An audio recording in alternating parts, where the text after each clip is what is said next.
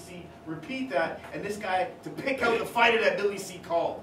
So I think there might be a little bit of truth to that. Regardless, he's here today. We're going to let him talk to you himself a little bit. Ladies and gentlemen, huge round of applause.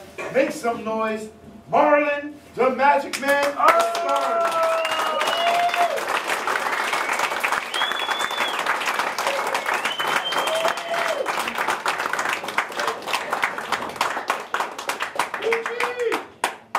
mean, how many, how many, how many people in, in one state a Billy Me and my fellow Connecticut guy, John Scully. Hey, we did it, John. Uh, let me tell you, um, I had a, I had a real, I had a beautiful, beautiful boxing career. I've, uh, boxing been good to me. Boxing took me all over the world. When I decided to, um, stop fighting amateurs, I said to myself, um, before I hang the gloves up, let me turn pro and see what I can see what I can do. My goal, my goal in boxing wasn't to be the WBC champion or uh, WBA champion. My goal in boxing in the welterweight class, my goal was to be the best welterweight on the planet. And February 4th, 1989, the people all over the world, my peers, the old, the young, he said, look at that guy, Marlon Starling, that's the best welterweight on the planet. And at that time in my career, I thought I'd said, my career was over. I didn't, I didn't get into this game for the money, like I said. I didn't get into, get into this game to, to show that um, I can do it all. I got into this game for one thing, and that was to be the best welterweight on the planet. I fought a lot of undefeated. I fought on network television more than any other fighter in the world during the 80s. And I wasn't the champion. I fought back then when we could watch the world championship fight for free. Back in back in 81, 82, 83, 84, 85. I fought every year on network television during the during the 80s. Um, after my last fight, which was a close fight, and um, at that point in my in my career, my one of my handlers said to me, um, Marlon, do you do you want us to do you want us to um, fight the decision? At that point in my life, I felt I'm finished. You know, I, I did everything I can do in boxing. One thing, one thing um, you can't do is beat uh, beat Father Time. I, the reason why I um, I I got out of it, too many of my friends started being champions. So I said that uh, uh, you know it was time it was time to leave.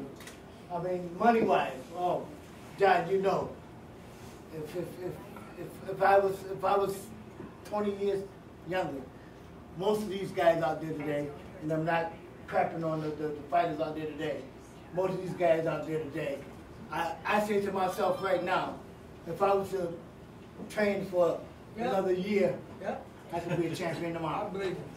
Yeah. Because um, with, with, with the skill I have, and you know, like I said, my, my game, my, my game was hit and don't get hit.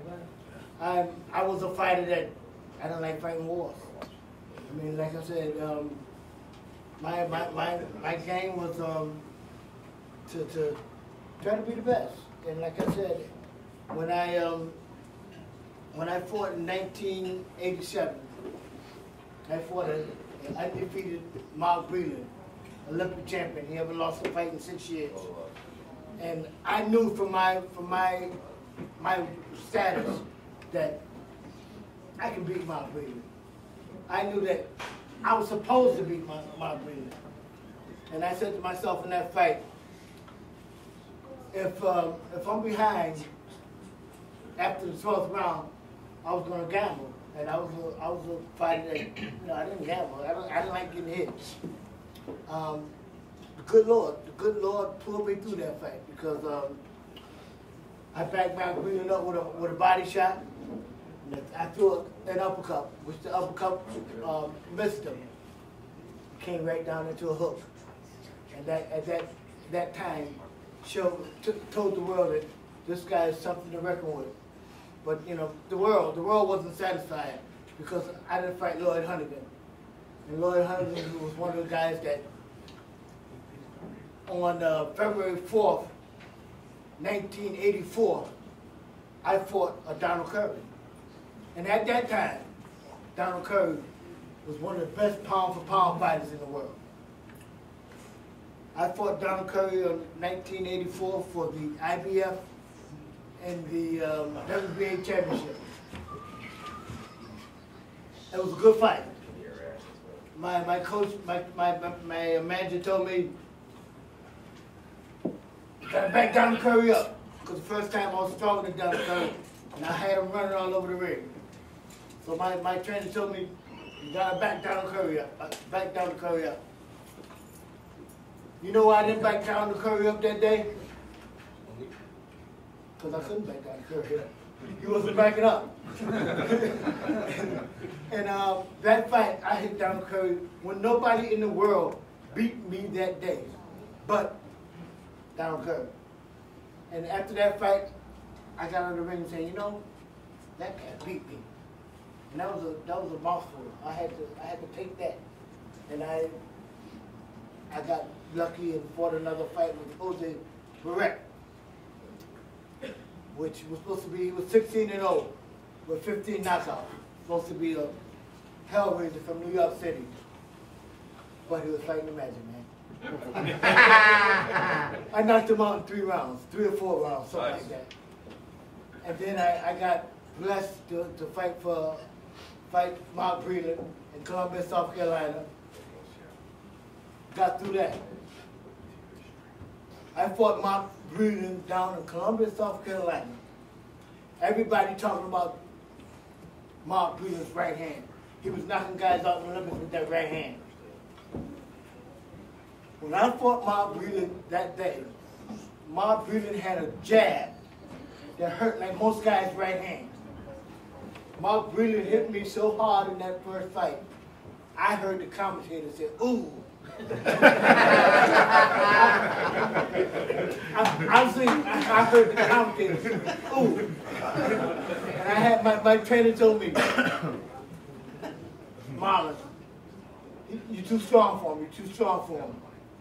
In that 11th round, I hit him with a good body shot. He backed up, and I caught him on the ropes and hit him with a, uh, a hook that put him down. After that fight, like I said, people were still wasn't sure about me being the best in the world. So I had to fight Lloyd Honeyghan, an English guy who beat Donald Curry, who had beat me. I knew at, the, at that time, I was saying for a while, that I'm the best welterweight in the world. Nobody believed it. I fought a Lloyd Honeyghan February 4th, 1989. He was supposed to be a Hellraiser. I told people before that fight, by the middle of the fight, that guy's gonna want to be my friend. and believe me, in that fight, by the middle of the fight, he started trying to be my friend. after, after that fight, when I beat Lloyd Honeyghan that day, believe it or not, after I beat Honeyghan that day, my career was over because I, I did everything I wanted to do in boxing. And it was time for me to, to get out. But through, but through my, my, my ups and downs of boxing, I met some, some beautiful people. Like you fans in here. I mean, you guys supported me. And I bless and I thank all you guys for, for following my career. And I want to thank uh, Billy C for putting me into this hall. Thank you very much.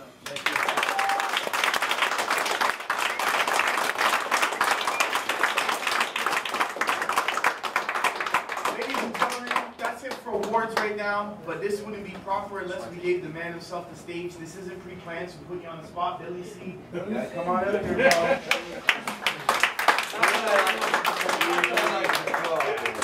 You can go like every day for a couple hours.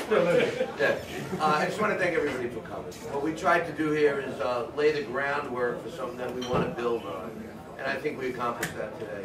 Uh, Although I would have liked to have seen a lot more people in here, I'm real happy with the people that are here. I just want to thank everybody for coming, and uh, keep it in your minds, because we're going to do it again. And I'm glad that all these fighters that are here, they're going to be part of our committee. They're going to help us elect the rest of the people that come on. Thank you very much. Have a drink.